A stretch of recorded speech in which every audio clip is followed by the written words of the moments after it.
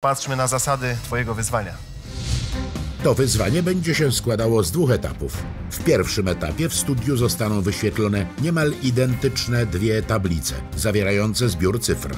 Arkadiusz zobaczy na każdej z nich 1225 cyfr od 1 do 9. Tablice wraz z układem znaków na pierwszy rzut oka są identyczne. Jest jednak jeden mały wyjątek. Różnią się jedną cyfrą. Wyzwaniem Arkadiusza będzie wskazanie tej różnicy. W drugim etapie na ekranie pojawią się kolejne dwie tablice, jednak tym razem będą zawierać zbiór liter. Każda z nich będzie tym razem zawierała 1600 liter alfabetu łacińskiego. Arkadiusz, tak jak poprzednio, będzie musiał znaleźć jedną różnicę między dwiema niemalże identycznymi konfiguracjami liter. Wyzwanie zostanie zaliczone, jeśli Arkadiusz wskaże prawidłowo różnicę między zbiorami cyfr i zbiorami liter. Arek, jesteś gotowy? Tak. Bardzo proszę o Lecimy. pierwszą mozaikę dla Arka. Ojen. No i co?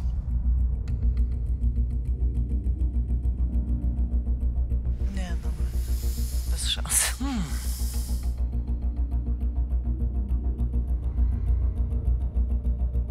w jaki sposób on w zezie robi ostrość.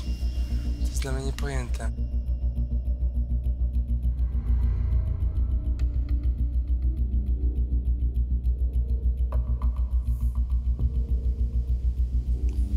No nic, aż mnie oczy bolą, nie?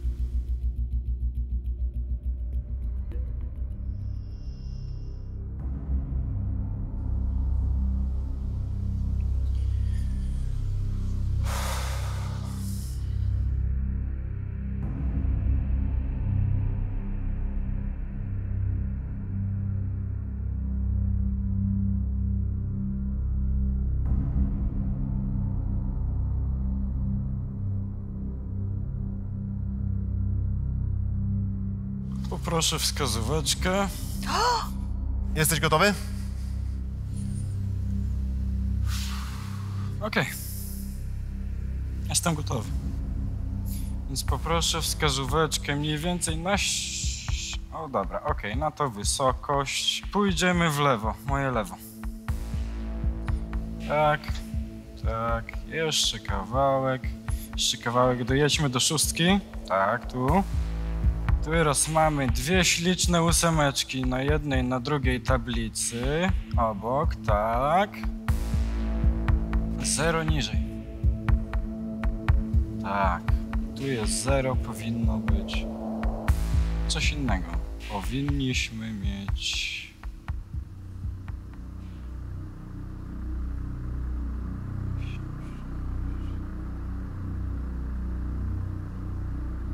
Czwórkę. Czy to jest to miejsce? Tak, na 100%. Sprawdźmy.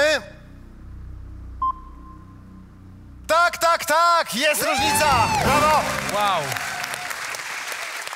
Ja porównując ciężko to znalazłem. Gratulacje, Arek. Dziękuję ślicznie. Ale to dopiero pierwszy etap Twojego wyzwania. Już za chwilę ponownie zobaczymy dwie mozaiki, ale teraz będziemy mieć 1600 liter. Litery będą mniejsze, no i ponownie oba obrazy różnić będzie tylko jedna literka. Arku, jesteś przygotowany na drugi, ostatni etap Twojej próby? Tak. Poproszę zatem o kolejne mozaiki. O,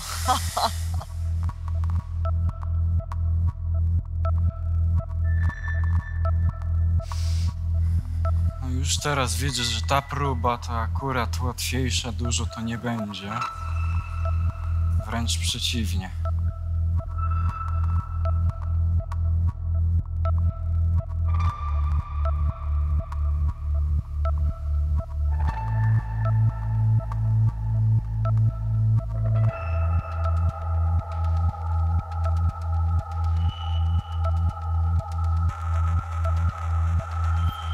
Dobra, mamy. Jesteś gotowy, widzisz? Tak. Arek, na jakiej wysokości mam umieścić wskaźnik?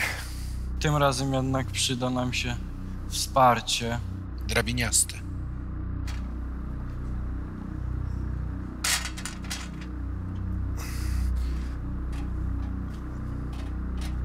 I jedziemy teraz w górę. Stanowczo w górę. Okej, dobra, dobra, stop, stop, stop. I jedziemy moje lewo. Czyli tu, tu, stop. Mamy tu literę P. Powinno być W. Zaznaczamy P. Sprawdźmy odpowiedź. Tak, tak, tak! Masz rację! Gratulacje,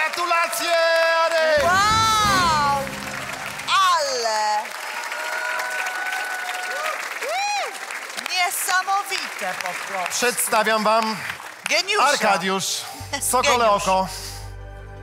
Panie doktorze, No, Arek, to jest mistrzostwo. Są tak złożone tablice, tak dużo elementów. Każdy z widzów, kto próbował w tym czasie to zadanie rozwiązać, pewnie złapał się na tym, że mózg przeciętnego człowieka próbuje to zrobić w bardzo taki naturalny dla siebie sposób.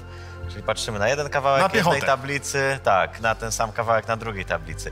I musimy to oko przerzucać po prostu setki razy, czy tysiące nawet na tej tablicy. Często przerzucając zapominamy już, co tam było. I to jest prawie niewykonalne, nie? Natomiast właśnie to, co ty, Arek, robisz, to wykorzystujesz obydwie półkule, nakładasz obraz z lewego oka na ten obraz z prawego oka. Ten mózg już sam sygnalizuje, gdzie tam jest nieścisłość. I to jest właśnie taki genialny przykład pokazujący, że można robić trudne rzeczy w zupełnie inny sposób i one zaczynają być proste, nie?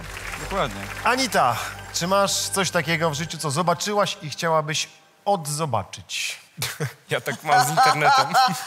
Słuchaj, poczekaj.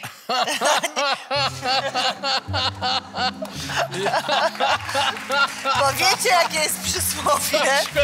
Przysłowie brzmi tak. Spostrzegawczy zobaczy wszystko. Spostrzegawczy i mądry wie, co przeoczyć. The Brain. Genialny umysł. Wtorek, 25.